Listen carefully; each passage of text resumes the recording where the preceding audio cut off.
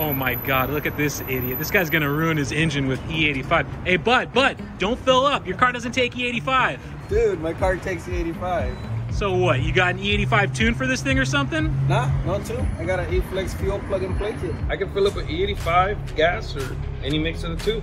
My car runs perfectly, but when I'm running E85, I make way more power. No way, plug and play E85 kit? I've never heard of eFlexFuel before. Yeah, it's the real deal. These kits are easy to install. You can do it yourself. It comes with everything you need and installs under the hood. After installing, you can pump E85 right away. Start making power. Wow, no kidding. So are they a new company or something?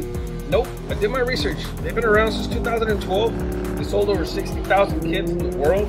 They're a little newer in the USA, which is probably why you haven't heard of them.